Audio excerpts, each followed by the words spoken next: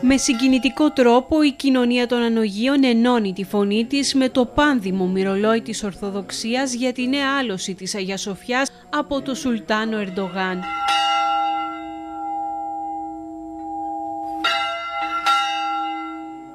Την ώρα που οι καμπάνες σε όλη την Κρήτη χτυπούσαν πένθυμα και οι σημαίες κοιμάτιζαν με σύστια σε ένδειξη θλίψης και συντριβής για τη βίαιη μετατροπή της Αγίας Σοφιάς σε τζαμί, ο πατέρας Ανδρέας Κεφαλογιάννης και ο Λουδοβίκος των Ανογείων έψαλαν τον ακάθιστο ύμνο, πλαισιώνοντας την εικόνα της Παναγίας Βρεφοκρατούσας μέσα στο ναό του Αγίου Γεωργίου με τη συνοδεία του Μαντολίνου ψάλουν με διάχυτη συγκίνηση τι υπερμάχο στρατηγόταν νικητήρια.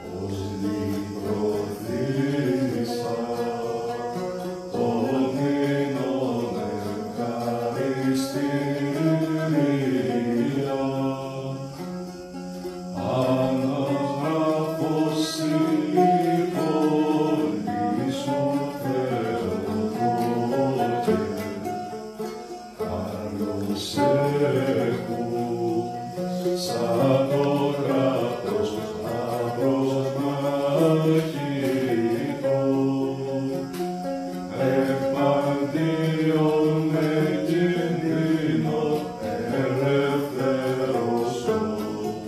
Ο πρωτοπρεσβύτερος του ναού του Αγίου Γεωργίου ανήρτησε στην προσωπική του σελίδα στο facebook το συγκινητικό βίντεο για την Αγία Σοφιά μαζί με ένα άκρος ελπιδοφόρο μήνυμα προς όλους τους πιστούς.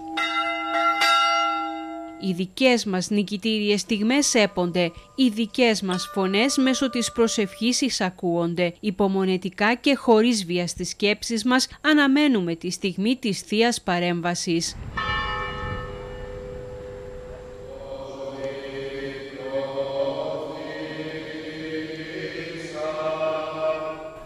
Αυτή την ώρα, αυτή τη στιγμή, αυτό που νιώθουμε, αυτό που έχουμε μέσα μας, αυτό που έχω μέσα μου εγώ προσωπικός, δεν μπορώ να το εκφράσω.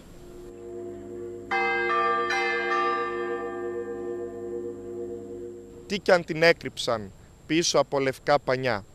Ίσως γιατί δεν μπορούν να τη βλέπουν. Ίσως γιατί δεν θέλουν να την αντικρίσουν. Ίσως γιατί δεν τολμούν να το κάνουν. Εκείνη όμως δεν πάβει να βλέπει, δεν πάβει να ευλογεί, δεν πάβει να αγιάζει. Το πένθος της Ορθοδοξίας έζησαν οι πιστοί σε κάθε γωνιά της Κρήτης. Με τις καμπάνες των εκκλησιών να σηματοδοτούν τη θλίψη και την οδύνη.